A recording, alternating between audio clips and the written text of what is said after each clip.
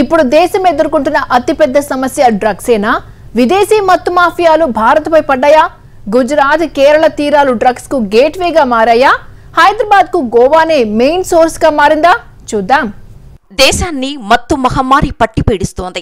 గుట్టు చప్పుడు కాకుండా వేల కోట్ల విలువైన వ్యాపారం జరుగుతోంది. కొకైన్ హెరాయిన్ ఎఫిడ్రిన్ ఎండిఎంఏ లాంటి డ్రగ్స్ సులువుగా దేశంలోకి చేరుకుంటున్నాయి. అంత ఈజీగా ఎలా వస్తున్నాయో కూడా అర్థం కావటం లేదు. అడుగడుగునా చెకింగులు జరుగుతున్నా గుట్టుగా డ్రగ్స్ అందుతున్నాయి. కస్టమ్స్ డిఆర్ఐ అధికారుల దాడుల్లో సంచలన విషయాలు బయటికి వచ్చాయి. Afghanistan Pakistan Kenya South Africa Ethiopia లాంటి దేశాల నుంచి భారీగా డ్రగ్స్ సముద్ర మార్గం గుండా చాలా సులువుగా దేశంలోకి వస్తున్నాయి. ముఖ్యంగా గుజరాత్ కేరళ తీరాలు మత్తు మాఫియాలకు ముఖద్వారంగా నిలుస్తున్నాయి. గుజరాత్ కేరళ తీరాల్లో వేల కోట్ల విలువైన డ్రగ్స్ పట్టుబడుతున్నాయి.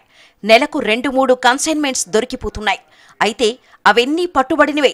దొరకనివి ఇంకెంత ఉంటాయో ఊహిస్తేనే భయం కలుగుతుంది.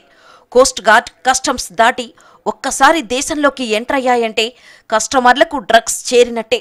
ఢిల్లీ ముంబై చెన్నై బెంగళూరు హైదరాబాద్ ఇలా దేశమంతటా వెళ్ళిపోతాయి డ్రగ్స్ మత్తులో యువత చిత్తవుతోంది. ఢిల్లీ ముంబై చెన్నై జైపూర్ ఎయిర్పోర్ట్స్ నుంచి కూడా డ్రగ్స్ దేశంలోకి ఎంట్రీ ఇస్తున్నాయి. కోట్ల రూపాయల విలువ చేసే కొకైన్ హెరాయిన్ స్మగ్లింగ్ చేస్తూ సొమ్ము చేసుకుంటున్నారు గేటుగాళ్ళు కేవలం ఇంటర్నేషనల్ ఎయిర్పోర్ట్స్ నుంచే ఐదు వేల కోట్ల విలువ చేసే డ్రగ్స్ స్మగ్లింగ్ జరిగినట్టు లెక్కలు చెబుతున్నాయి. భారత్కు డ్రగ్స్ తరలించేందుకు అనేక రకాలుగా ప్రయత్నాలు జరుగుతున్నాయి. ఎయిర్పోర్ట్స్ ద్వారా అయితే కెన్యా సౌత్ ఆఫ్రికా అమ్మాయిలను స్మగ్లింగ్కు వాడుకుంటున్నారు. కెన్యా నుంచి భారత్ వచ్చిన నూట ఇరవై డ్రగ్స్ క్యాప్సిల్స్ను పొట్టలో దాచుకొని తీసుకొచ్చింది. అయితే ఎయిర్పోర్టులో ఆమె కుప్పకూలిపోవడంతో సర్జరీ చేసి కోట్లు విలువైన డ్రగ్స్ బయటకు తీశారు.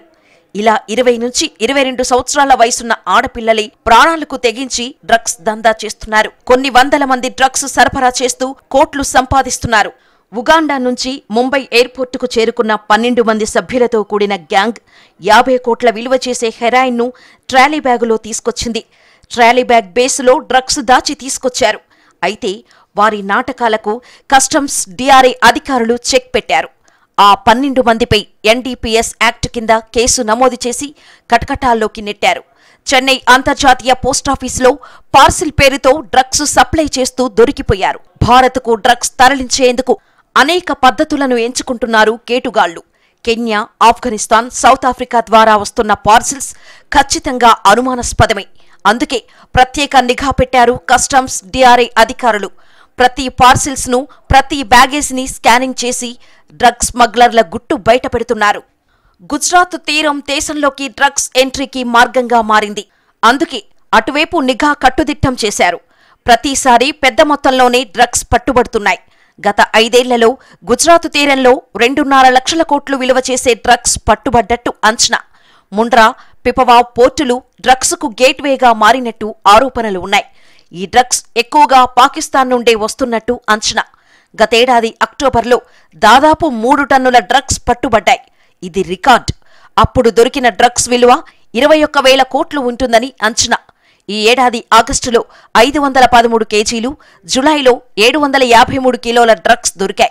ఒకప్పుడు ఇండియాలోకి డ్రగ్స్ సరఫరాకు పంజాబ్ కేంద్రంగా ఉండేది.